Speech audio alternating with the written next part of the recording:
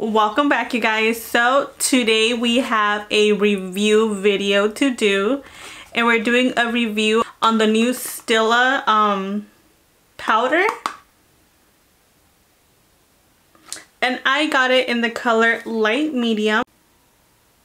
This product is $30 it's a little pricey but we'll see if it's even worth it. So the benefits of this product are loose setting powder spray designed to set makeup as a soft matte finish. Which I'm all about it because my face is oily. So I always um, set it anyway. So hopefully this helps with the matteness as well. It says formulated with skin loving oil absorbent ingredients to mattify skin without looking dry. So it looks like this. And they only have three colors. They have a light, light medium, and a dark. So those are the only colors it comes with. So I don't even know if it's going to work with my color or if it's even going to look too light or too dark. I have no idea. It comes with a little pump. So we're gonna give this a try. I already did do my makeup. I have not set my foundation. So I'm gonna give this a try and let you guys know if it's worth it or not. It says usage. Shake well before use. Spray onto brush or buff, then buff onto face. Avoid contact with eyes. Do not spray directly onto face. I'm going to be applying this with the Morphe G6. It's just a flat, like kabuki brush. So I'm going to shake it, press it on here. Let's see what it looks like. Ooh. Oh, crap. Oh my god, that's a lot. I'll put some on here. I'm putting it on the lid. Oh, dang. Okay. Well, I've never tried this and I didn't know what it would look like. But I got powder all over my hand, my mirror. Okay. So now, oh.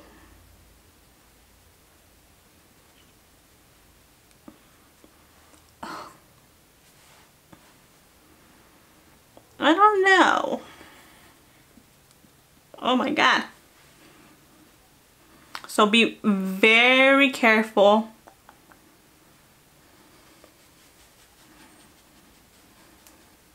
Whenever you guys are taking it out of the bottle, be very, very careful.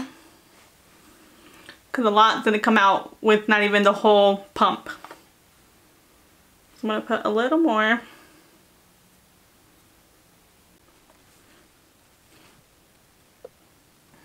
It looks powdery.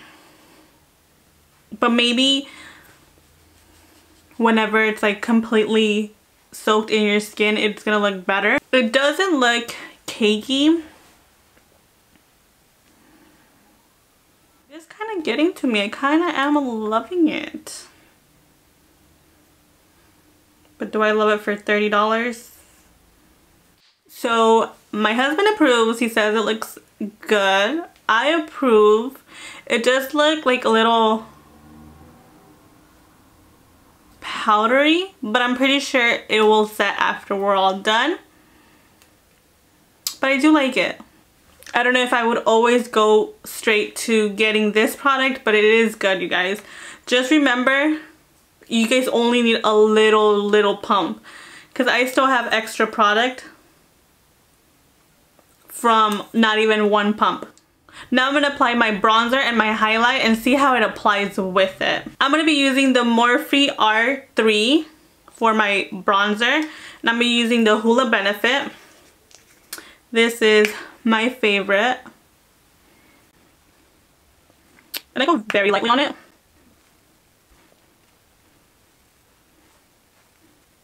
I'm going to be using the Ofra. Um, this is with Nikkie Tutorials Everglow. I'm going to be using a little bit of these two just in the middle and I'm going to be using it with a Morphe E61. I'm going to apply my lipstick and I'll give you guys my final thoughts. And I'm wearing the NYX Lingerie in Lipley 04. I'm scared to set it with like setting spray. Would that be too much? I'm gonna set half of my face with like the setting spray. I'm gonna be using this one.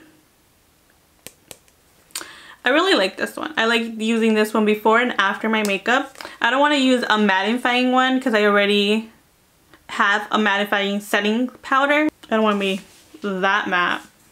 So I'm to set it on this side of my face, see if I notice any difference.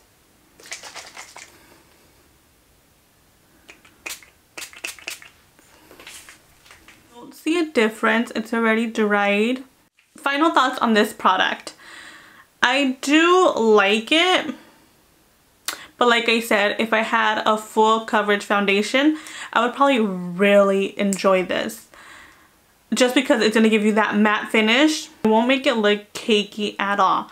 It does look way better set with this than with the actual pressed powder because this makes it feel light and it just gives you like an airbrush finish. So that's a good thing. But I really do enjoy it. Cons.